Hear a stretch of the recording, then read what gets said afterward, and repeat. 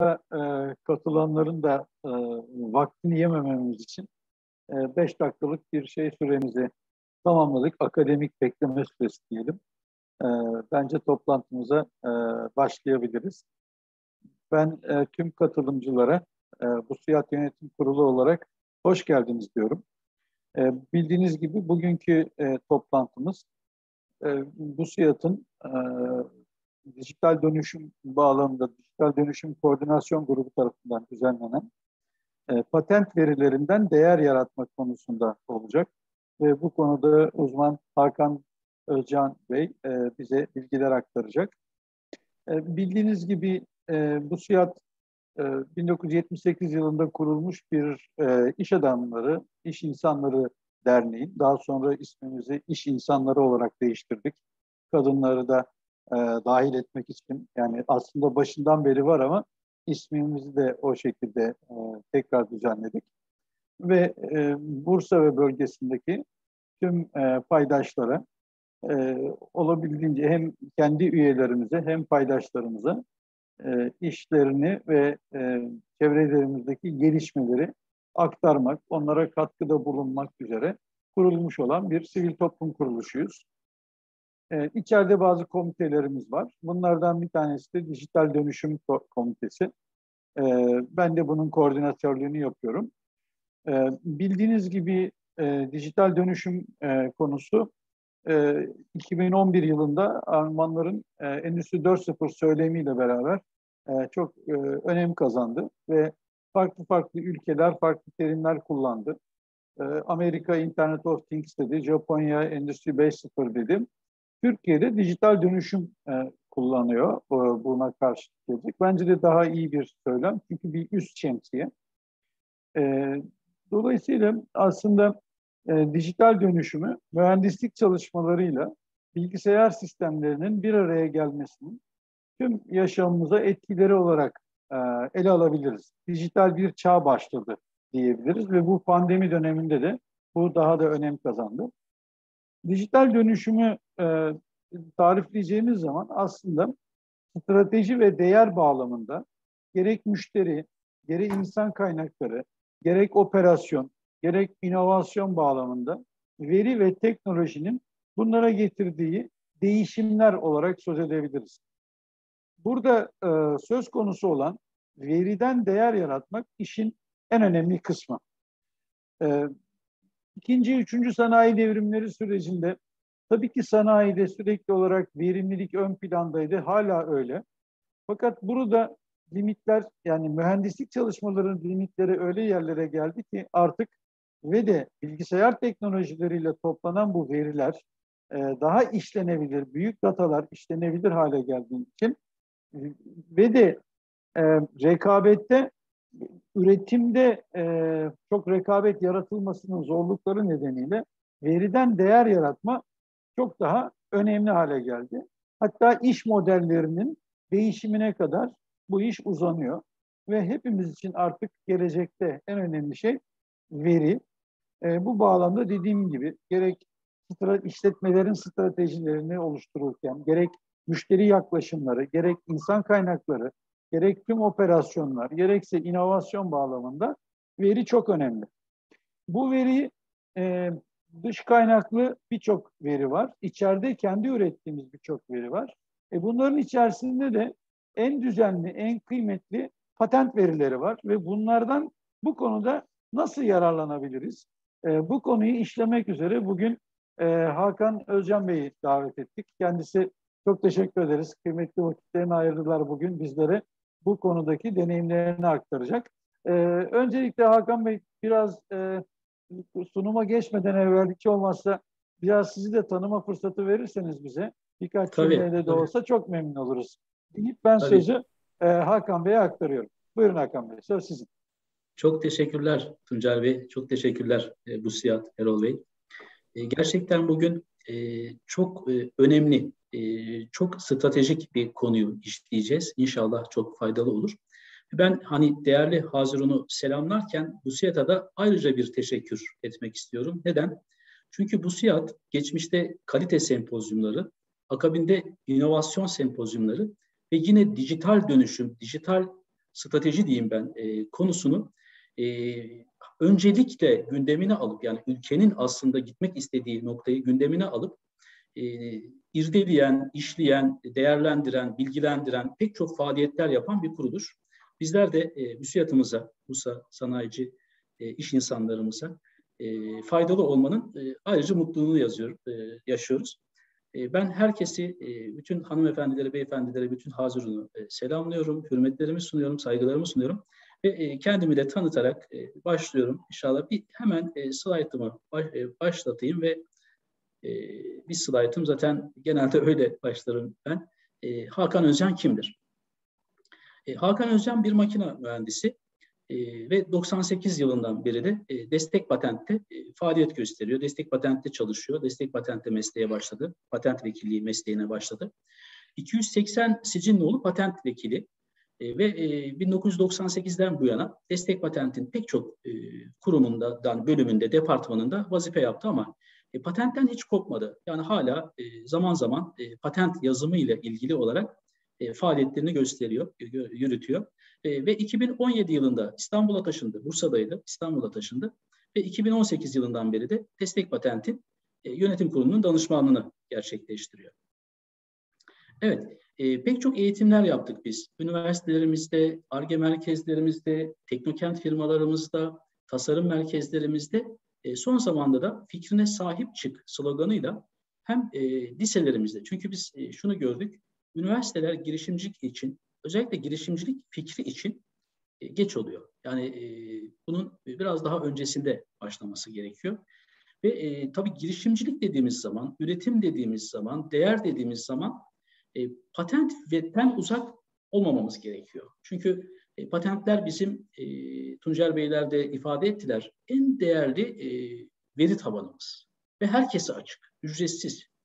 E, bazı e, konular var biliyorsunuz. E, özel veri tabanlarında yüksek ücretler yani özellikle pazar araştırmaları yaparken çok yüksek ücretler ödeyerek bunu alabiliyoruz. Şimdi ben şuradan hemen işaretleyicimi de alayım ve yavaş yavaş başlayalım. Şimdi markalarımızın değerleri var, hesaplanabilir değerleri var, patentlerimizin hesaplanabilir değerleri var. Ama bazen de öyle markalar var ki e, trendi veya geleceği tahmin edemediği için e, kaybolmuş markalarımız var. Bunun e, önünde, e, önümüzde üç tane e, böyle e, marka var. Şimdi peki bunlar nerelerde nasıl hatalar yaptılar? Yani bu markalar neden kayboldular? Neden efendim? E, çünkü hani e, yeniliği takip ede, edemediler diyemeyiz. Çünkü bunlar bir dönem kendi sektörleriyle, kendi ürünleriyle ilgili yeniliği ortaya koyan ve ciddi manada yöneten firmalar. Şimdi e, bakıldığı zaman e, eğer bazı gelişmelerden bizler haberdar değil isek o zaman bizi çok büyük riskler e, bekliyor. Mesela şimdi e, bakın e, aşağıda iki tane e, e, fotoğrafımız var. Bunlar akıllı telefonların projeksiyon olarak kullanabileceğini gösteren iki uygulama. Eğer bizler projeksiyon cihazı üretiyor isek ve bu iki uygulamadan e, haberdar değil isek bir anda e, yok olabiliriz. Değil mi? Yani elimizdeki e, kullandığımız hemen hemen şu an bütün topluma yayılmış olan cep telefonlarımız sunum cihazı haline bir uygulamayla sunum cihazı haline geldiğinde eğer üretiminiz sunum cihazı, projeksiyon cihazı ise ciddi bir riskle karşı karşıya kalıyoruz. Şimdi Kodak'ın patent hareketlerini yine e, ücretsiz veri tabanlarından elde ettiğimiz patent hareketlerini izlediğimizde şu an bakın yavaş yavaş bittiğini, yavaş yavaş eridiğini gözlemliyoruz. Yine Motorola'nın belli bir zamana kadar çok zirveye doğru çıktıktan sonra efendim belki biraz yatayda ama sonra aşağıya doğru eğimle birlikte eridiğini görüyoruz. Bunlar dünya markaları. Hemen hemen bu markaları e, neredeyse kullanmayan yok gibidir. Şimdi yine önümüzde CEO'sunun ekranlar karşısında maalesef gözyaşı döktüğü e, ve bir zamanlar bizim için iPhone, Samsung değerinde olan bir markamız var. Ama o markamız da eridi ve e, neredeyse yok oldu. Şimdi marka değeri düştükçe aslında e, patent sayılarındaki düşüşü de görüyoruz. Bu ikisi birbirine çok denk. Yani siz eğer patent sayılarınızı e, marka değerinizle birlikte artırmıyor iseniz veya bu patentlerinizi doğru bir şekilde e, yönetmiyor iseniz ciddi manada e, sıkıntılar çıkabiliyor. Şimdi e, önümüzde üç tane uygulama var ve bu üç uygulama çok da geç değil. Yani e, birisi 1920'lerde otomobilin e, ortaya çıkışı. E, 1920 dediğimiz zaman bundan 100 yıl öncesi yani hani e, çok da uzak değil. 100 yıl içerisinde o kadar enteresan bir değişim yaşıyor ki sektör. Şu anda efendim e, bambaşka bir yere savrulacak. Ve bu savrulma e, enteresan bir şekilde sektörün dışından geliyor. Yani e, Google'ın patentidir. Efendim Google hiç otomobil üretmemiş. E, yine hani iPhone'un e, ortaya çıkışı e, Apple hayatı boyunca hiç cep telefonu üretmemiş. Dolayısıyla yıkıcı inovasyon bu çok e, enteresandır. Yani yıkıcı inovasyon çoğu kez sektör dışından gelir. Şimdi e, önümüzde otomobille ilgili 1920'lerden efendim 2020'lere doğru gelirken e, enteresan bir e, şey var değil mi? Yani hoverboardlar e, artık satışa sunuluyor. Yine e, efendim e, trenlere veya ulaşıma alternatif e, ulaşımlar var. Yani bir savrulmayı, aynı Nokia'nın yaşamış olduğu bir savrulmayı tekrardan e, yaşayacağız gibi duruyor önümüzdeki günlerde. Şimdi e, patentler her zaman endişelendirir. E, tabii bunlardan yararlanmıyor isek, yani bunlarla ilgili e, patent bilgisine sahip değilsek bizi endişelendirmeye de devam eder. Yani bir işletmede e, veya işletme olmamıza e, gerek yok. Yani bir üniversitemizde veya işte e, KOBİ'mizde şahsi olarak da e, üretim yapıyor isek veya yapmıyor isek bir e, patentle ilgili bir ihtarname, herhangi bir mail veya resmi noter e, onaylı bir ihtarname geldiğinde endişeleniriz. Yani bu uyarıcı yazı gerçek olabilir veya manipüle de olabilir ama endişelendirir. Dolayısıyla bu endişeyi iyi bir şekilde, e, ciddi şekilde yönetmek lazım. E, bunu yönetemediğimiz zaman e, sıkıntılar çıkar. E, ve sektörde patentler e, değerli olanı gün yüzüne çıkartır. Özellikle biz e, bugün buna odaklanacağız. Yani e, bu patent verileriyle normal araştırmanın veya işte o üretilebilirlik analizi dediğimiz e, analizin dışında neler yapılabilir e, ve ne tür e, işletmemize veya kurumumuza ne tür faydalar sağlanır e, bunu göreceğiz. Şimdi e, veri artık herkesin ve ortada açık hepimizin verisi. Bu bilgiye dönüyor. Çeşitli enformasyon sistemlerine kaydedilmiş olan bu veri bilgiye dönüyor. Ama bu bilgiyi biz bilgeliğe çevirebilir isek ki en çok ihtiyacımız olan şey bu şu anda. Yani katma değerli, katma değeri e, ortaya çıkartabilmek için e, en çok ihtiyacımız olan şey e, verinin bilgeliğe döndürülmesi. Peki nasıl döndüreceğiz bunu? Elimizde veri tabanlarımız var. Ücretsiz Türk Patent ve Marka Kurumu'nun veri tabanı var. Avrupa Patent Marka Kurumu'nun, e, özür dilerim, e, Avrupa Patent e, Ofisi'nin e, veri tabanları var. Ve işin en güzel tarafı ise e, bu verilerin yüzde doksanı serbest kullanımda. Yani karşımıza çıkan patentlerin aslında e, pek çoğu serbest kullanımda. Yüzde onu korunan ve devam eden kısımda. İşte bunu ayrıştırdığımızda gerek rakip olarak, gerek sektör olarak, gerek ürün olarak e, defalarca biz bunu test ettik. Design alan çalışmalarında biz derinlikli bir patent araştırması, patent taraması yaptığımızda firma e, tasarım önerilerini peş peşe hızlıca yapabiliyor. Peş peşe hızlıca yapabiliyor. E, daha da güzel tarafı güncel teknik bilginin yüzde sekseni patentlerde. E, pek çok ürünü özellikle Türkiye'mizde maalesef yenilikleri takip etmek için e, fuarları gezersiniz, fuarlar incelenir ama Avrupa'daki yenilikleri takip etmek istiyor isek patent ofislerinin, patent e, yapılarının, patent veri tabanlarında e, cirit atmamız gerekiyor. Bunları görmemiz gerekiyor. Tabii tersine mühendislik ve eleman sirkülasyonlarından dolayı artık herkes her şeyi de yapabiliyor. E, Çin her şeyi yapabiliyor. E, yarın bir gün Hindistan da her şeyi yapabilir duruma gelecek. Efendim e, yani kalabalık ülkeler teknoloji, üretimle ilgili kalite veya işte ona benzer şeyler e, ortadan kalkmış durumda. Dolayısıyla herkesin her şeyi yapabildiği kısımda evet biz ARGE merkezlerimizin içerisine manyetik kartlarla giriyoruz, gizli tutuyoruz ama e, özellikle ARGE merkezlerimizin içerisinde o teknolojiyi, ürettiğimiz teknolojiyi, yaptığımız patentlerle de bunu herkese deşifre ediyoruz.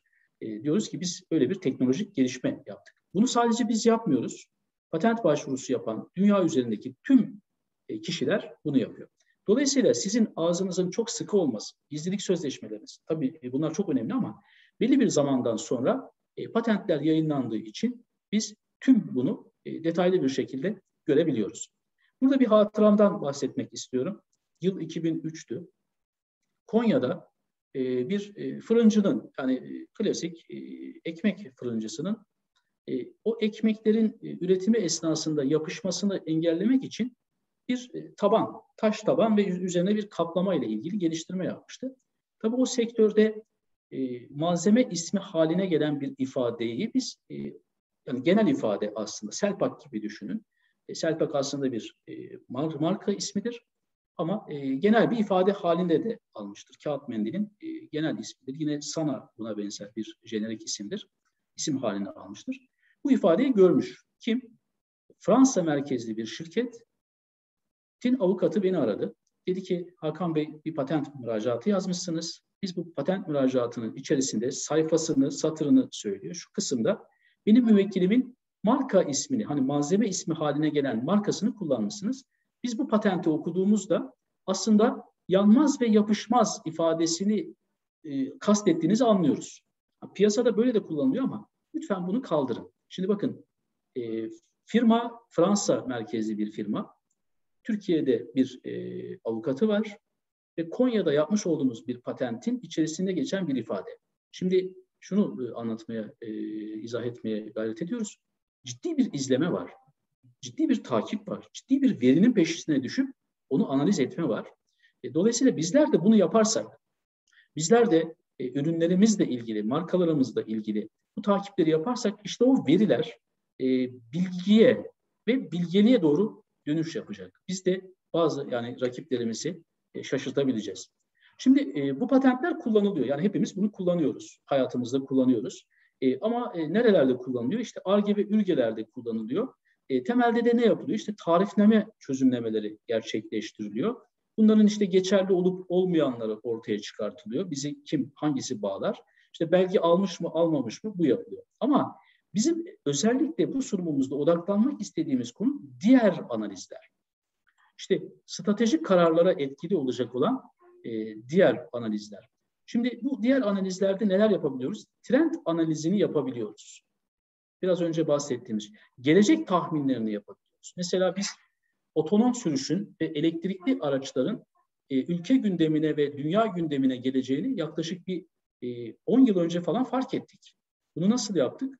Efendim e, patent verilerini ciddi manada analiz ederek o patent verilerdeki anahtar kelimelerin ve e, işte IPC kodu dediğimiz International Patent Classification bu patent sınıflarının nereye doğru gittiğini gözlemlediğimizde bunu gördük ve uyarılarımızı da yaptık. Benim e, bu konuda hani e, internette yayınlanan e, pek çok e, yazım da var.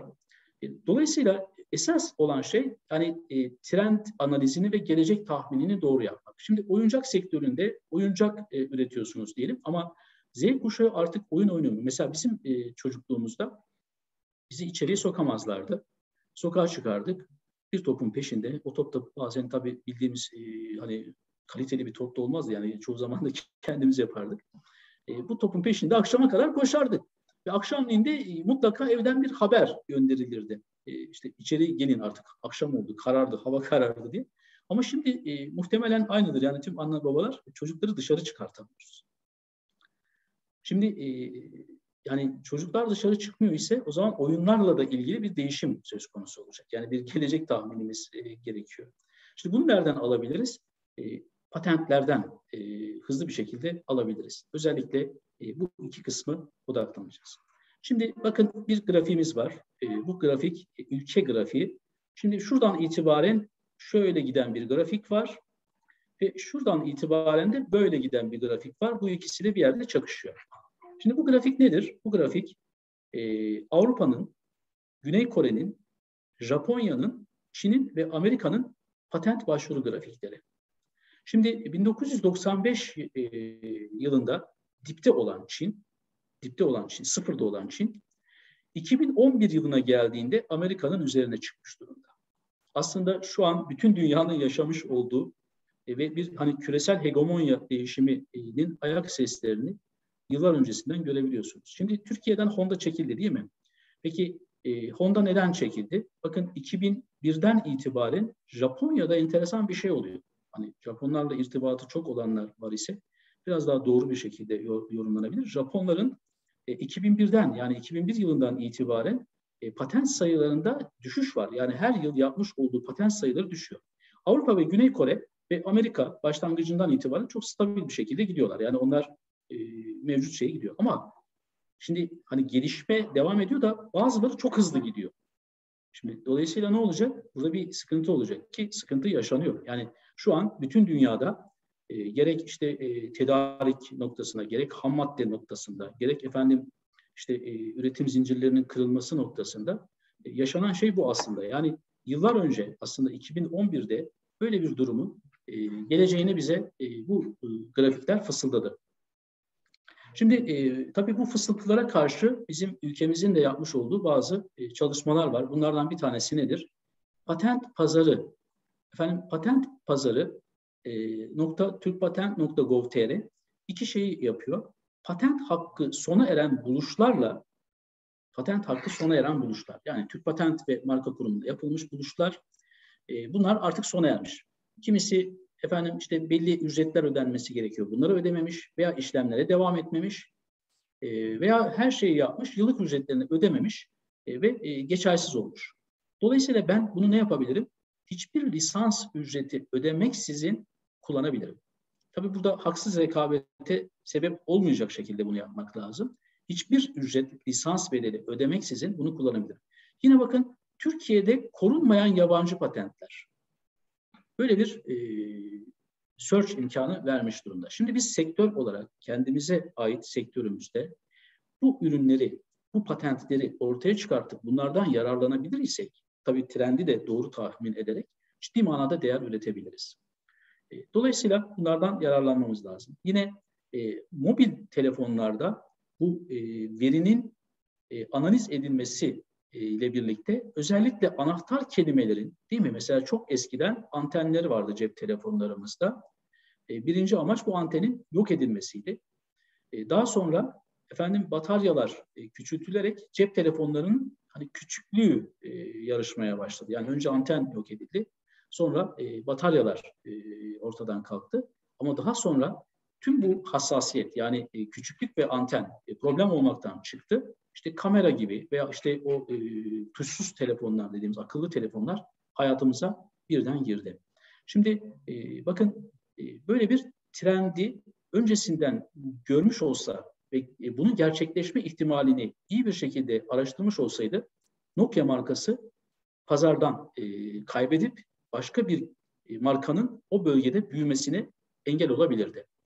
Tabii bu görülmemiş değildir. Yani bu hani çok da basit olur. Yani Nokia bunu göremedi mi? Hani e, yani e, göremedi mi gibi bir şey olur. E, ki hani teknolojiyi yöneten ve doğduğu yerler buralar. E, görmüşlerdir. Muhtemelen görmüşlerdir, fark etmişlerdir. Belki önemsememiş olabilirler. Yani e, mesela e, buna benzer çok tarihi gaflar vardır. İşte uçaklarla ilgili, bilgisayarla ilgili, nükleer enerjiyle ilgili e, çok böyle hatta bilgisayarlarla ilgili televizyonla ilgili, çimento ile ilgili e, o zamanki çok e, revaçta olan kişilerin bazı beyanları vardı. Mesela uçakların e, savaş alanlarında kullanılmasının imkansız olduğu. Efendim işte bir e, televizyonun e, kitap okumayla yarışanmasının mümkün olmadığı gibi ifadeler vardı. Muhtemelen görmüşlerdir ama bir saha araştırması yapıp kişilerin üzerinde böyle bir etki nasıl ortaya çıkar gibi bir araştırma yapmamış olabilirler. Dolayısıyla bakın mobil telefon bugün otomotivin yaşadığı durum e, bir savrulma getirdi. E, bu savrulma bizim sektörlerimizde de olabilir. Dolayısıyla bizler de kelime bazlı yani sektörümüzdeki e, patentleri kelime bazlı olarak anahtar kelime bazlı ve zaman süresi olarak analiz edip e, sektörün nereye gittiği ile ilgili bir yorum ve bununla birlikte de bir stratejik e, karar vermemiz gerekir. Yine araçlarla ilgili bakın yapılmış bir e, analiz. Şimdi 1900 ve 1972 yılında e, Amerika e, tartışmasız en üstte ve en çok çalışılan işte e, yani şey üreten e, firmalar, e, araçlarla ilgili patent üreten firmalar ve çalışılan konular. Şimdi e, sürüş yönünün kontrolüyle ilgili çalışılıyor. Yine efendim işte ısıtma ile ilgili çalışılıyor.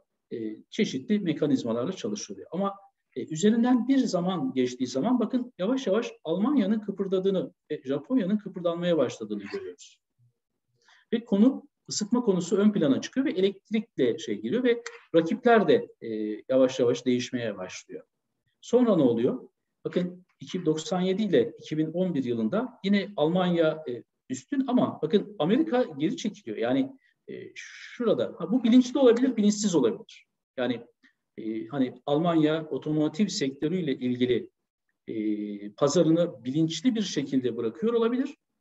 Bilinçsiz bir şekilde yani bilinçsiz derken yani kontrol etmeye çalıştığı halde kontrol edemiyor olabilir. Bunun sebebi ne olabilir? Diğer ülkelerin bu konuya vermiş oldukları önem. Yani trendin nereye gittiğini görmek ve bununla ilgili faaliyetlere başlamak. Bakın 72 ile 97 arasında Japon e, otomotivlerin sektöre e, çok daha fazla e, teknoloji üreterek e, sonra ne oluyor? Bakın yine Japonlar e, devam ediyor. Efendim yine işte Güney Kore'nin e, yavaş yavaş girdiğini görüyoruz ama parlayan bir yıldız var. Yavaş yavaş burada kendine gösteriyor. Bakın.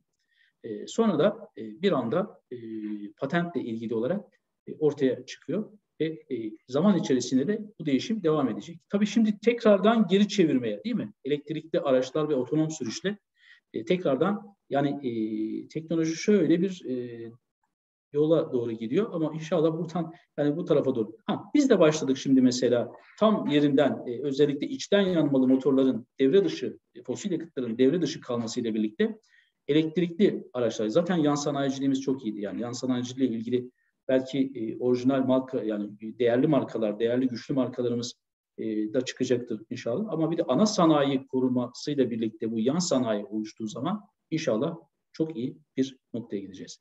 Yine bakın e, araçlardaki bu e, kelime bazlı şeylerden sektörün nereye doğru gittiğini anlayabiliyoruz. Dolayısıyla patent veri tabanları hibe edilmiş patentlerle dolu. Yüzde doksanı bunların hibe edilmiş durumda, yüzde onu kullanılan durumda. Ve bu rakiplerin kara kutuları e, bizlerin e, bu rakiplerin patentlerini e, detaylı bir şekilde analiz ederek e, trendin nereye doğru gittiğini ve gelecekte neler olabileceğini tahmin edip konum almamız bizim için hem Bursa'mız için hem kurumlarımız için hem de ülkemiz için çok önemli. Şimdi ikinci bir konu patentlerde bir atıf meselemiz vardır. İtiraz ve atıf. Yani bir patentin en değerli patentin e, iki tane e, unsuru vardır. Bir tanesi itirazlar çok gelir. Yani siz eğer bir patent müracaatı yaptıysanız ve buna çok itiraz geliyor ise e, inanın çok değerli bir şey bulmuşsunuz demektir. Bu biraz paradokstur. Yani değerli bir şey hani e, taklit edilir. Taklit edilmek kötü gibi durur ama taklit edilmek aslında markanızın da değerli olduğunu gösterir. Çünkü değerli olan patentler, değerli olan markalar taklit edilirler. Değersiz olan markalar pek fazla taklit edilmezler. Değersiz olan patentler de pek fazla taklit edilmezler.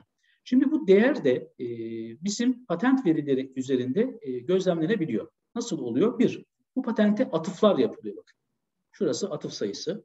Sektörel olarak biz bunu ortaya çıkartabiliyoruz veya firma bazlı olarak ortaya çıkartabiliyoruz. Ee, daha yani e, o sektörle ilgili mesela 305 tane atıf almış bir patent, efendim 174 tane atıf almış ikinci bir patent. Şimdi e, sizler bu patenti merkeze koyarak bu patenti ihlal etmeyecek alternatif, yani o patentin çözmüş olduğu teknik problemi çözebilen çok daha iyi bir çözüm ortaya koyduğunuzda bu sektörde aynalama dediğimiz yani işte e, iPhone'un karşısına efendim Samsung e, yine işte e, otomobil sektöründe e, Ford'un karşısına efendim Mercedes veya işte Hero'nun karşısına e, Baykar, Akıncı gibi e, bir aynalama yaptığınızda e, ciddi manada bir e, hem e, sektör girdi sağlayabileceğimiz bir sektör hem de rekabet edebilen bir e, patent e, portföyü oluşturabiliyorsunuz. Dolayısıyla sektördeki en değerli patentleri biz veri tabanlarından ortaya çıkartabiliyoruz. Bize düşen ne olacak? Bu değerli patentlerin etrafından dolanarak yapabiliyor isek, tabii yapamayabiliriz de. Yani bu çok da kolay olmayabilir ama yapılabilir de. Çünkü pek çok e, teknolojik gelişme e, bu şekilde yapılmış. Güney Kore'nin yapmış olduğu model, şu an uygulamış olduğu model tamamen budur. Bir de yerlileştirme çalışması. Yani Türkiye'de üretilmeyen ürünlerin üretilerek onların almış oldukları patentlerin e, ihlal edilmeksizin ortaya bir e, üretim kurulması. Dolayısıyla bu değerli olan e, patentleri biz e, sektörümüzde, rakiplerimizde ortaya çıkarttıktan sonra bunları ihlal etmeden e, ürünler ortaya koyabiliriz. Peki patent veri tabanları İK politikalarına yardımcı olabilir mi? E, şöyle, bakın ben e, gelmeden önce TOFAŞ'ın e, patent alan e, buluşçularını listeledim. Şimdi ben rakibiyim diyelim TOFAŞ'ın. İşte Renault'yum. Yani ikisi de Bursa'da veya TOK. E, TOK e, Türkiye Otomobil Gelişimci platformundayım. Şimdi bu kişiler benim için önemli. Bu kişilerin e, patent sayıları çok yüksek bakın. 86 tane Hasan Ayartürk diye bir arkadaşımız. E, TOFAŞ'ın buluşçusu. Yine Utku Karakaya. İlk 10'dur bu. Bunu listeleyebiliyoruz. Yani daha da fazla e, artırabiliriz aşağıya doğru. Bu kişilerin sektörle ilgili yapmış oldukları paylaşım ve bilgiler bizim için önemli. Yurt dışı olarak da bunu yapabiliyoruz. Yani plastik sektöründe diyelim işte petrokimyada en fazla patenti olan kişiler kimler? Bunlar bizim danışmanlık alabileceğimiz kişiler de olabilir. Yani bir konuda e, fikir almamız gereken kişiler de olabilir. Veya transfer etmek istiyor isem odaklanmam gereken kişileri de gösterir. E, dolayısıyla e, böyle bir faydası da var. Yani buluşçuların yoğunlaşmış olduğu, patent sayılarının yoğunlaşmış olduğu buluşçular muhtemelen o şirketin veya o sektörün en verimli insanlarıdır. E, dolayısıyla bizim e, e, patent verilerinin İK politikalarına bu şekilde yan bir faydası da olacaktır. Evet. Yine sektörün ve ürünler üzerindeki geliştirmeye açık kısımlar bulunabilir. Bunu nasıl yapıyoruz? bakın var olan patentlerden, var olan patentlerden efendim bu konularda hani sektörel olarak en çok problem yaşanan konuları e, bu şekilde büyüklüklerine göre gerek basınç konusunda gerek farklı farklı konularda e, bir harita haline getirebiliyoruz. Yine bakın yaşanan problemlerle ilgili, bu problemlerin ortaya çıktığı alanlar ile ilgili, e, yani güçle ilgili, aydınlatma ile ilgili, frekansla ilgili, pH ile ilgili, efendim pek çok e, kütle ile ilgili sektörün yaşamış olduğu problemleri ve yine bu problemlerle ilgili alınmış olunan e, patentlerin yoğunlaştığı kısımları ortaya çıkartabiliyoruz. E, sadece ve sadece bu patent veri tabanlarındaki patentleri analiz ederek. Bu, evet. Peki kimlerle işbirliği yapmamız gerektiğini de bize patent verileri fısıldıyor. Şimdi bakın mesela burada e, İstanbul, e, özür dilerim, e, üniversitelerle, tabii bu illa üniversite anlamında olmayabilir e, rakiplerle ilgili de olabilir. E, ben e, burada sadece en fazla patent, tabii bunu ürün bazına da dönüştürebiliriz. Ben sadece en fazla patent başvurusu yapan e, üniversiteleri ilk beş ve efendim e, şeklinde sıraladım. Dolayısıyla e, patent kültürünün yayılmış olduğu üniversiteler bizim işbirliği yaparak daha az e, ne derler enerji harcayarak kazanabileceğimiz kısımlar olacaktır. İşte otomobille ilgili, tekstille ilgili, sa sağlıkla ilgili e, alınmış olan patentler ve bu patentlerin buluşçuları bizim e, işbirliği yapacağımız kişileri de ortaya çıkartacaktır. Evet, e, buraya kadar birkaç madde, bu çok daha derinleştirilebilir. Ben e, örnek olması açısından e, bunları verdim. E, bir sonraki kısımda e, 2014 yılında çıkan 65-18 sayılı bir kanunla ilgili e, bilgi vermek istiyoruz ki bu e, bilgi şu an e, yavaş yavaş yayılmaya başlandı. Genelde bir kanun çıktıktan sonra bunun üzerinden bir 10 yıl geçince veya 5 yıl geçince kanunun tamamen hani e, tüm toplumun tüm e, kesimlere e, yaygınlaştığını görüyoruz ve 10 yıl geçince de artık üzerindeki tüm tereddütlerin ortadan kalkıp herkesin yapmaya başladığını görüyoruz. E, bu kanunla ilgili bilgi yayılımı e, epey bir gerçekleşti ama tüm kesimlere ulaşmış durumda değil. İşte bizim özellikle e, bu faaliyetlerde bunu e, göstermemizin, bahsetmemizin, duyurmamızın e, temel sebebi bu. E, bir de içselleştirmek yani yapmakla da ilgili. Biz pek çok firmaya bunu e, kullandırdık. E, şu anda yapıyoruz. Peki şartlar neler? Yani bu kurumlar vergisi muafiyetinden yararlanmak için şartlar neler? Yani ARGE merkezi mi olmalıyız, tasarım merkezi mi olmalıyız, üniversitede işbirliği mi yapmalıyız? Hiçbir şekilde bu şekilde bir şartı yok. Diyor ki bize ARGE'si Türkiye'de yapılacak. Yani ARGE Türkiye'de yapılacak ama yurt dışı müdahillik var ise ona ki e, ortaklıdır, yurt dışı ortaklıdır. O zaman Türkiye'de yapılan ARGE ayrıştırılacak. Yani bunun yüzde kaçı e, yurt içinde yapıldı, yüzde kaçı yurt dışında yapıldı. ARGE merkezi veya tasarım merkezi olma şartımız yok. Veya KOBİ, büyük işletme, işte onlara göre değişen bir yapısı da yok. E, sonra e, Teknokent firması olmayacak yalnız. Çünkü Türk e, Teknokent yani daha doğrusu sizin Teknokent firmanız olabilir. Ama bu projenin yani kurumlar vergisi düşeceğiniz projenin Teknokent'te çalışılmamış olması isteniyor. Çünkü Teknokent'teki e, kısım e, ayrı kanunla ve ayrı neredeyse bu kurumlar vergisi muafiyetine eş değer olan e, farklı avantajlar sağlayan kanunlara tabi. Efendim e, elinizde belge almış. Bu önemli. Yani mutlaka belge almış. Bir faydalı model veya incelemeli patent olacak ama kendiniz almayabilirsiniz de. Yani bunu lisans veya devir yoluyla da elde edebilirsiniz. Yani e, bir üniversiteden veya bir rakibinizden artık yani sektördeki bir danışmandan yani e, emekli olmuş, o sektörde yıllarca çalışmış, ciddi buluşlar yapmaya başlamış bir kişiden bunu alabilirsiniz. E, faydalı modeliniz var ise araştırma raporu düzenlenmiş olacak. 2017'den sonraki tüm faydalı modellerde e, bu var zaten. Yani sürecin içerisinde, aşamaların içerisinde gerçekleşiyor. 2017'den önce ise Türk Patent ve Marka Kurumu'ndan özel istekle bunu yapabiliyoruz.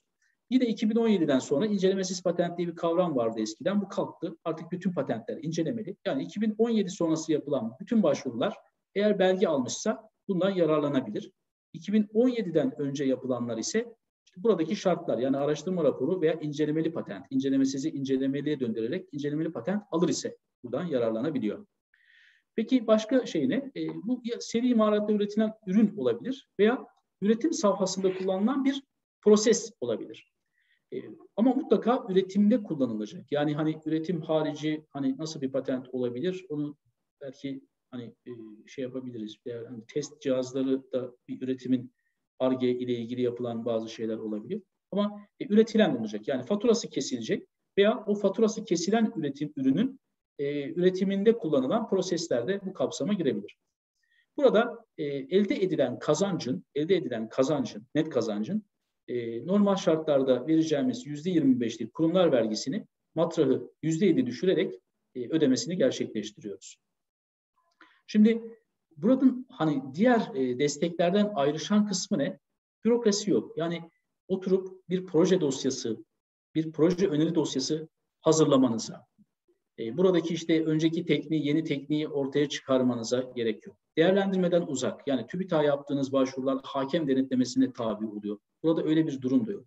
Ve herhangi bir kuruma bağlılığınız da yok. Yani COSGAP gibi, işte TÜBİTAK gibi veya işte ne bileyim e, yok gibi herhangi bir kuruma bağlılığınız yok. Üretiminizi yapıyorsunuz. Almış olduğunuz patent var ise Türkiye'de gerçekleştirilmiş.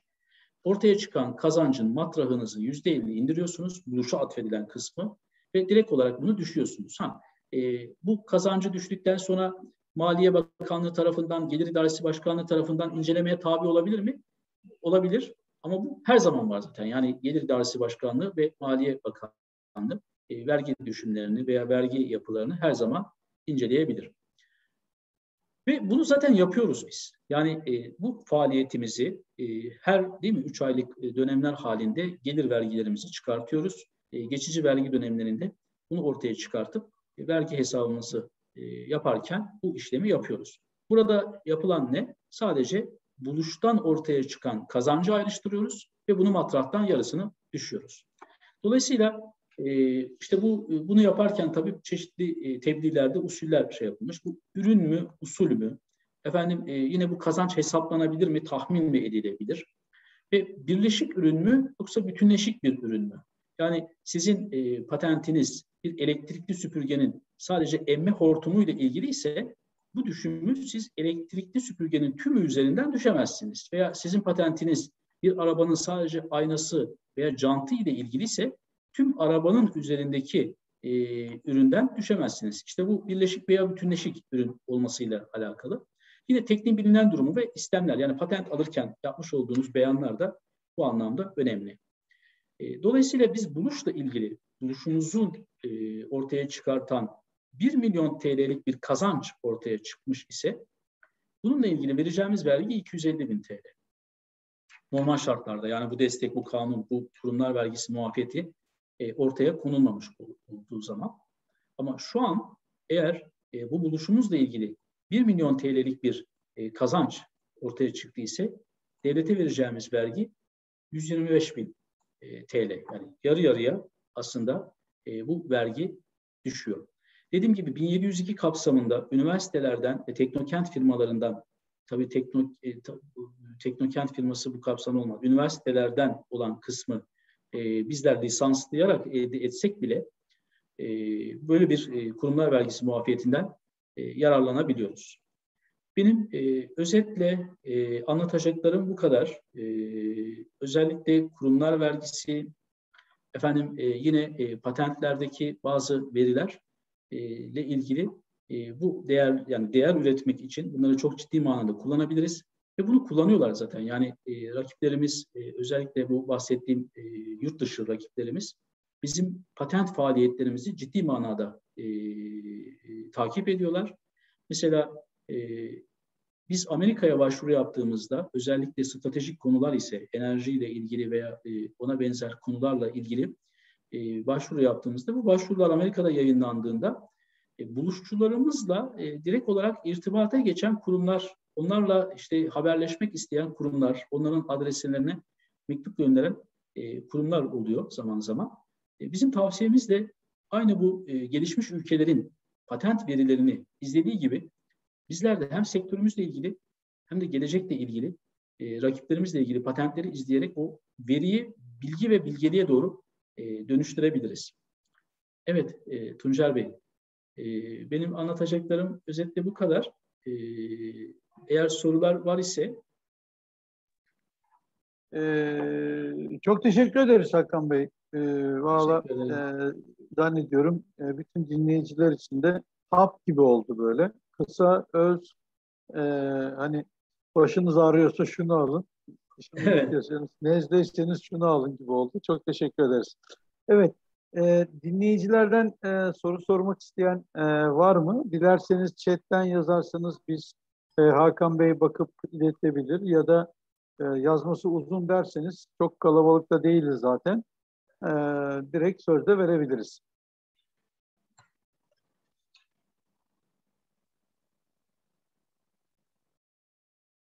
El kaldıran e, görmüyoruz. Soru geldi. Bu arada ben yok gelmedi. Ben e, kafama takılan bir şeyden söz edeyim aslında. Buyurun. Belki ona bir e, arkadaşlar da orada düşünürler. Yani bu patentin e, arkadan dolanma şeyi var ya. Design errant dediğimiz evet. Evet. Bu e, bu işle uğraşan insanlar için de bir olumsuz etki yaratıyor. Yani hani e, diyelim ki patenti taradık, bir patent varmış, biz bunun arkasından nasıl dolanırız, e, nasıl bir şey yapabiliriz, düşünce sistematiği tamam. Ama bir yandan da kendimiz patent alırken bu sefer ya bunu da arkasından dolanırlar. E, evet. Yaklaşımı olduğu için e, bu sefer patent işini patenti alalım mı almayalım mı, söyleyelim mi söylemeyelim mi e, gibi şeyler e, gündeme gelebiliyor. Bu konudaki düşünceniz nedir acaba? Anladım. E, şimdi Tuncer Bey e, bilgiyi, bilgiyi, e, bilgimiz yani teknolojik sırlarımızı e, kendi işletmemizin içerisinde gizli tutabiliyor isek e, bizim tavsiyemiz hiçbir şekilde patent müracaatı yapılmaması. Ama e, işletmemizin içerisinde e, gizli tutamıyor isek yani know-how olarak tutamıyor isek korumak için yapabileceğimiz tek şey patent başvurusu. Şimdi burada yol tekrar ikiye ayrılıyor. Evet benim dosyam yani yapmış olduğum patentim etrafından design element dediğimiz bu çalışmayla e, dolanılabilir mi? Dolanılamaz mı? Burada da profesyonel destek çok önemli. Yani biz patent vekilleri hani kelimelerle e, böyle mikro cerrahi gibi yani ekleriyle biliyorum, biliyorum. evet değil mi? Yani genelleme dediğimiz e, ve bu burada olmalı mı olmamalı mı gibi e, konulara çok önem veririz ve bunu e, hani bir ameliyat gibi düşünün. Yani bir beyin ameliyatı gibi o kelimeleri yerli yerinde e, kullanmayla ilgili bir şeyimiz e, vardır. E, yani buna zorunluyuz. Mec- mecburuz. Böyle bir yöntemimiz vardır. E, tabii bu hani pek çok kişi tarafından bilinmediği için e, istemler e, çok doğru bir şekilde yani aslında istem dediğimiz şey de koruma kapsamı. Yani ben neyi korumak istiyorum? Neyi koruma altına aldım? E, koruma kapsamı doğru belirlenemezse Tuncel Bey dediğiniz çok doğru. Yani o zaman benim e, patentim e, etrafından dolaşılabilir. Ama her patentin etrafından dolaşılabilir mi? Bu sorunun cevabı hayır. Yani evet. e, e, biraz e, üzerinde yani o mikro cerrahideki gibi hata yapmaksızın doğru kelime takımlarını doğru yerlerde sıfatlarımı, zarflarımı doğru yerlerde ve doğru şekilde kullanırsam o zaman e, Design Erant'un e, alternatif çözümü e, lisans almak oluyor. Yani bükemediğiniz eli e, öpeceksiniz e, oluyor ama şu olabiliyor. Şimdi hani e, farklı yerlere yönlenme yani problemleri aslında biz tanımlamadık. Problemler hep vardı. Yani e, yakıt tasarrufu misal veya işte içten yanmalı motorların verimliliği. Şimdi bunu e, sizler e, o patent verilerini iz, e, incelediğiniz zaman yani o patentin etrafından e, dolaşmak demek aslında o patentten bambaşka bir noktaya gitmek de demek olabiliyor. Yani bizim kastettiğimiz sonuç o. Yani mesela Nokia'nın tuşlu telefon takımını o patentleri inceleyerek ben bunu hani nasıl yapabilirim? Belki de öyle de çıkmış olabilir. Yani akıllı telefon. Gerçi o biraz internetle cihazları birleştirmek. O sizin ilk girişte söylediğiniz dijital dönüşüm. Aslında e, internet ciddi bir buluş. Şu an tüm cihazları internetle buluşturuyoruz. Yani bu insana doğru da gidiyor. Yani e, insana doğru da gidiyor. E, dolayısıyla hani burada böyle bir e, trend var. Ama e, bu istem takımı e, ve o bahsettiğiniz nazik yöntemler doğru bir şekilde kullanıldı ise e, böyle bir tehlike yok. Yani e, alternatif teknoloji için çok büyük maliyetli bir şeyler ortaya koymaları lazım. Bu da bir yöntemdir. Yani e, bir işletme üç sebeple patent alır. Bir, kendi ürünüyle ilgili koruma kapsamı genişletmek için. İki, rakibinin ARGE maliyetini artırmak için veya rakibine hani kendi gücünü hissettirmek için Üçüncüsü de rakibinin masaya oturtup çapraz lisans dediğimiz e, lisansları özellikle 4G, 5G, 6G işte önümüzdeki günlerde olacak olan teknolojilerle ilgili gelişmeler için. E, dolayısıyla hani biz e, bu zor bir noktaya getirmek için yani patentin etrafından dolanma konusu zor bir noktaya gelmesi için mutlaka profesyonel desteği, e, yurt dışı tecrübesi olan, kendi iç bünyesinde e, iyi bir ekip kurgulamış olan uzun yıllardır bu işin içerisinde olan e, danışmanlarla çalışmanızı tavsiye ediyoruz. Evet. E, çok teşekkür ederiz. E, teşekkür Miray Hanım'ın bir sorusu var. E, patentten elde edilen gelir nasıl hesaplanıyor? Firmanın beyanı yeterli mi? E, denmiş. E, evet. Buyurun Hakan Evet. Şimdi e, patentten elde edilen gelirde e, iki tür bir e, yaklaşımımız var. Şimdi bazı patentlerde bu çok net bir şekilde gözükür. Yani e, ya karlılık yani e, bazen e, ciro artışı sağlar bazı patentler. Pazar açar, pazarda yer sağlar. E, veya maliyet düşümü sağlar. Bunu aynı anda e, ortaya koyup karlılık oranı artıran patentler de var. Yani hem maliyeti düşürüyor hem de ciro artışı sağlıyor. Dolayısıyla e, karlılık oranınızda da yani %10 olan karlılık miktarınız e, %12, %15'e çıkabiliyor. Ama bu bazı patentlerde çok net değildir. Yani e, mesela işte bir otomobilin e, aynasında efendim işte bir e, bir girinti çıkıntı yaptınız. İşte geniş neydi? açı yaptınız. Geniş açı yaptınız. E, ama bunun şimdi hani şunu söyleyemeyiz. Sırf bu tasarım veya sırf bu patentten dolayı e, bu patent e, özür dilerim bu e, otomobil markası tercih ediliyor. Ha bunu ispat edebiliyor isek, ortaya koyabiliyor isek böyle bir şey olabilir ama çoğu zaman ispat edemeyiz.